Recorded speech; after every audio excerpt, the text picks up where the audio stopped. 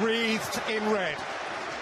Restored to this great gallery of the game, a walking work of art. Vintage, beyond valuation, beyond forgery or imitation. 18 years since that trembling teenager of touch and tease first tiptoed onto this storied stage.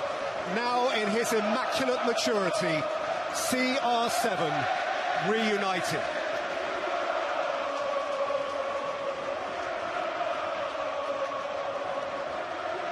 Him and the rest. It was 25 years ago this summer that Ole Solskjaer joined Manchester United as Steve Bruce